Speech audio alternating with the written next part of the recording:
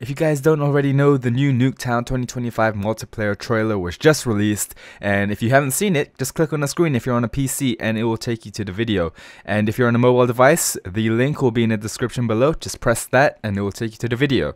I can't wait, this thing is making me so excited for Black Ops 2, and uh, man, I can't wait to play Nuketown 2025. If you haven't pre-ordered Black Ops 2 already, you better do it fast because the game is coming out soon and you have to have had pre-ordered the game in order to get this map for free. So yeah, watch the video, come back here, leave some comments, let me know what you think. I can't wait for Black Ops 2. See you when the game comes out.